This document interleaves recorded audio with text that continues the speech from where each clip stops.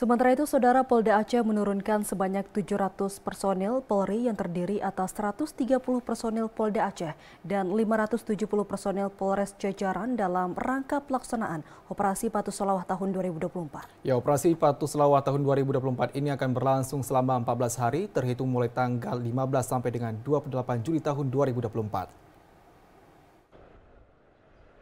Kabak Ops Bin Ditlantas Polda Aceh AKBP Irwan Kurniadi menjelaskan, tema dari operasi Patuh Selawah kali ini adalah tertib berlalu lintas demi terwujudnya Indonesia Emas dengan target menurunkan angka pelanggaran kecelakaan lalu lintas dan angka fatalitas serta meningkatnya disiplin masyarakat dalam berlalu lintas.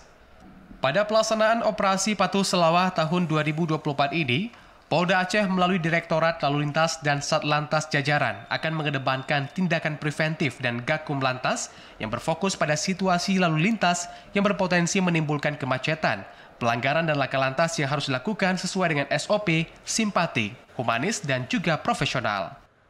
Operasi Patuh Selawah ini uh, adalah operasi yang dilaksanakan di seluruh jajaran Polda Aceh selama 14 hari uh, dari tanggal 15 sampai dengan tanggal 28. Tujuannya adalah dengan target menurunkan angka pelanggaran kecelakaan lalu lintas dan angka fatalitas serta meningkatnya disiplin masyarakat dalam berlalu lintas. Irwan Kurniadi menambahkan ada tujuh pelanggaran yang menjadi prioritas pada operasi Patuh Selawah tahun 2024 ini. Di antaranya pengemudi atau pengendara ranmor yang menggunakan ponsel saat berkendara, pengendara masih di bawah umur, pengendara yang berboncengan lebih dari satu orang, dan pengendara yang tidak menggunakan helm SNI, serta pengemudi ranmor yang tidak menggunakan sabuk pengaman. Selain itu, pengemudi atau pengendara dalam pengaruh alkohol dan juga melawan arus, serta yang melebihi batas kecepatan.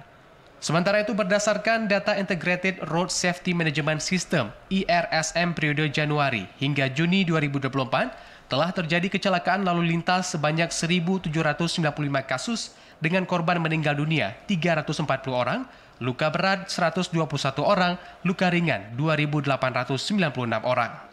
Dari Banda Aceh, Teku Ferry, TVR Aceh melaporkan.